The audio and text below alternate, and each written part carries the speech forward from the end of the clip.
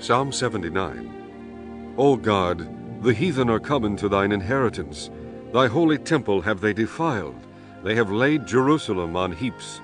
The dead bodies of thy servants have they given to be meat unto the fowls of the heaven, the flesh of thy saints unto the beasts of the earth. Their blood have they shed like water round about Jerusalem, and there was none to bury them. We are become a reproach to our neighbors, a scorn and derision to them that are round about us. How long, Lord? Wilt thou be angry forever? Shall thy jealousy burn like fire? Pour out thy wrath upon the heathen that have not known thee, and upon the kingdoms that have not called upon thy name.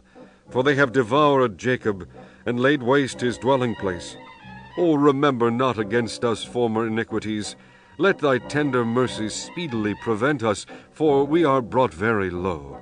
Help us, O God, our salvation, for the glory of thy name, and deliver us and purge away our sins for thy name's sake. Wherefore should the heathen say, Where is their God?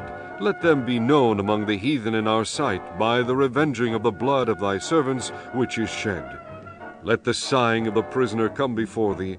According to the greatness of thy power, preserve thou those that are appointed to die. And render unto our neighbors sevenfold into their bosom their reproach, wherewith they have reproached thee, O Lord. So we, thy people, and sheep of thy pasture, will give thee thanks forever. Will we show forth thy praise to all generations.